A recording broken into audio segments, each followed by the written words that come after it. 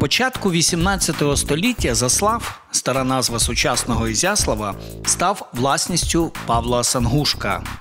Один з найбагатших магнатів Речі Посполитої відбудовує місто після руйнувань козаків Хмельницького. Він перенесе свою резиденцію в Новий Заслав, частину міста, на яку отримає від короля спеціальний статус. Тут відремонтує Новозаславський замок, а поруч його дружина зініціює архітектурний шедевр. Палац Сангушків оригінальний і не схожий на будь-який інший палац Речі Посполитої. Його ініціаторка Барбара Сангушко зверталася до королівського архітектора, аби втілити свій задум до кінця.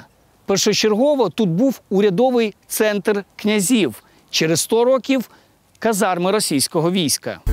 Територію Ізяслава, як і його минуле, розділяє річка Горинь. На одному березі збереглися залишки старого замку, у той час як на іншому архітектурний комплекс, історію якого почали князі Заславські. Від старого замку залишився лише один бастіон, е, штучно створений бастіон, на якому ще за часів сангушків е, височила невелика башта, як вважає Роман Автоназія, який більш детально досліджував цей об'єкт. е, Стара башта ще від старого замку. Але територіально згодом, уже в 18 столітті, очевидно, можливо, ще наприкінці 17 століття, поступово старий замок перетворюється на світський об'єкт, тобто на палац з усіма належними об'єктами, які цей е, палац обслуговували. Цей палац був повернутий фасадом до старої частини міста, наче до старого замку. У цьому дослідники вбачають певний символізм. Незважаючи на непривабливий вигляд після руйнування козаків, у місті зустрічалися авторитетні політики. Це був один із найбільших центрів тут, бо е, найближча територія вже Остріг підупав.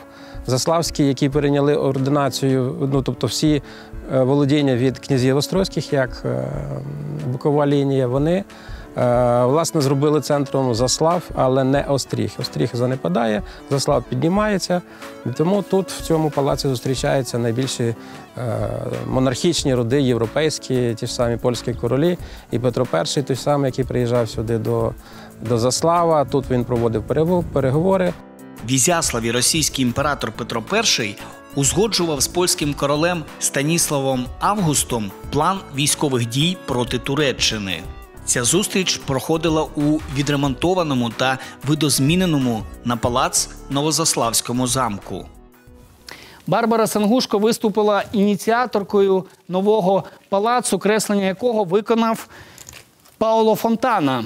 Однак пропозиції старого зодчого не задовільнили княгиню. Вона звернулася за допомогою до королівського архітектора. Подружжя Сангушків Павла і Барбари було поєднанням практичності, обмеженою італійськими впливами, з вишуканими проєвропейськими смаками. Магнат менше переймався формою та стилем будівель, натомість цікавився технічними та фінансовими питаннями, популяризував справу. Він фундував костели, монастирі, ремонтував церкви, відбудовував міста. Його дружина Барбара Сангушко, що після смерті чоловіка у 28 років стала вдовою, навпаки переймалася зовнішнім виглядом цивільних споруд. Вона спілкувалася з французькими інтелектуалами і була однією з найцікавіших та найвідоміших жінок старої Польщі. Барбара задумала палац в Ізяславі. Палац, який ми бачимо за моєю спиною, це власне цілий цикл, цілий комплекс палаців, тому що це був не один, а це був центральна частина найбільша. Багато переходів різних е, внутрішніх галерей, які можна було вийти всередині в палац, не виходячи в місто, і всередині в палаці гуляти там по території. Там були і дерева посаджені, квіти, розаріуми різні. До головного входу палацу вів міст. Першочергово споруду спроєктував Пауло Фонтана, який давно працював над об'єктами родини Сангушків.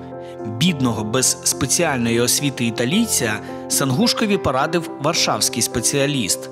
Пауло цілком задовольняв запити магната.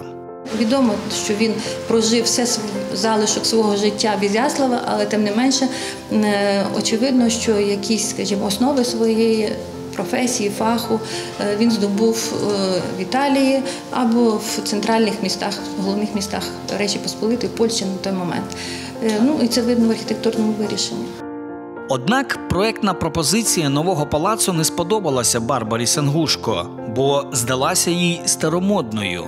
Пані звернулася за консультацією до королівського архітектора, однофамільця фонтани на ім'я Якуб. Він розробив інші абриси, тобто ескізи будівлі. Перед нами зразок е, такого раннього класицистичного об'єкту, який має дуже е, гарну архітектурну пластику, насичений архітектурними деталями, дуже оригінально і унікально, можна сказати, вирішена вхідна частина, яка має таке півкругле, овальне. Овальний контур із е, гарним е, двоколонним портиком іонічного ордеру, який передує ось входу в головний об'єкт. Крім того, е, таке значення саме цього вузла закріплюють ще дві колони іонічного ордеру, розташовані справа і зліва від головного входу. Крім того, сам палац являє собою такий, ну скажімо, рі- вирішення цього палацу є доволі традиційним, все-таки для барокових резиденцій. Чому? Тому що будівля двоповерхова, е, перший поверх нижчий, а другий поверх вищий. Пані Сангушка контролювала документацію і вносила корективи під час будівництва.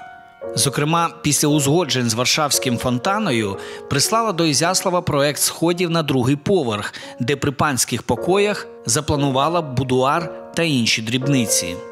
Палац розташований таким чином, що з одного боку його, скажімо, територію омиває е, русло річки Горинь. А з іншого боку викопаний штучний рів, через який, е, над яким збудований арочний міст. А з іншого боку, е, з південної сторони цієї території розташований був невеликий резиденційний парк. І вийшло так, що один фасад дивиться в сторону старого міста, а інший фасад дивиться в сторону нового міста. Палаци з'єднані спеціальними коридорами. Парк навколо почав закладати місцевий садівник. Однак він не впорався із завданням. Тому проект замовили у садівника з Варшави Карла Джорджа Кнакфуса. Остаточно резиденцію добудували у середині 70-х років 18 століття. Перед розподілом Речі Посполитої у палаці двічі гостював польський король Станіслав Август. Очевидці пригадують, що вечеря затягнулася до 23-ї години, а гості бавилися до 2-ї години ночі. У той вечір король нагородив сина Павла і Барбари Януша Модеста Сангушко орденом Білого Орла. На честь короля лунали постріли з гармат. Наступного ранку Станіслав Август приймав у палаці громадян, які прохали про аудієнцію. Всі, хто наслідував е, цей об'єкт, цей ансамбль і е, цей маєток, жодного разу і жодного дня не проживали в цьому палаці. Відомо, що він використовувався для проведення якихось таких загальноміських заходів, культурних заходів того часу. Е, Зокрема, відомо, що там проводились концерти і театральні вистави. Але з часом, в зв'язку з тим, що власники, які володіли цим об'єктом, проживали, наприклад, в Антонінах, як Юзеф Потоцький, або інші, які були в наступні періоди, то вони мали більш зручні і більш можливо дешеві для утримання об'єкти. А цей, ця будівля поступово занепадала. Зокрема, 1848 року княгиня Клементина Сангушко організувала у палаці виступ відомої вокалістки у супроводі скрипаля та піаніста. Концерт зібрав близько 300 осіб. Під завісу карнавалу 1861 року тут планували три вистави. У 19 столітті у палаці господарюють російські військові. Пізніше його переоблаштують у казарму з бібліотекою, їдальнею та помешканнями для офіцерів. Зокрема, тут російські солдати милися. Донині збереглися спеціальні пристосування для цього. Тут була дуже потужна колекція живопису в цьому палаці. Вона настільки була великою. Ми в описах знаємо і про величезні ростові портрети імператорів і князів острозьких, в тому числі острозьких заславських. Галерея тут була дуже велика. Але її розділили на декілька частин. Частину відвезли в Антоніни, частину в Підгорецький замок, потім завезли, а частину з робіт забрали сангушки до себе, які визначили вже на 19 століття центром е, князівської резиденції, такої потужнішої, це вже була Славута. І тому забрали їх до Славути. Казарми російських військ певною мірою законсервували архітектурну вроду палацу Сангушків, однак ненадовго. Тут стояли вже російські війська в цих казармах. Хоча е, сам палац, в принципі, підтримався в доброму стані. Уже коли пройшла Перша світова війна, зайшли більшовики, тут теж були казарми за більшовиків. Ну, але потроху-потроху, якби ще були казарми, то я думаю, що він зберігся би. Але так як е, казарми були виселені, потроху палац почав підупадати, його розікрали, і бачимо, вже такий стан, який лишився, це вже і за те, що не було власника, який би міг підтримувати.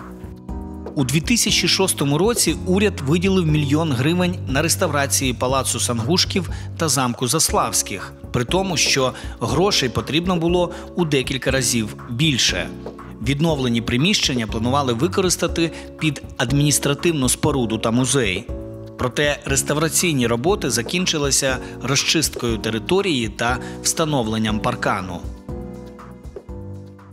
Нині палац у жалюгідному стані, незважаючи на те, що його внесли у державний реєстр національних пам'яток.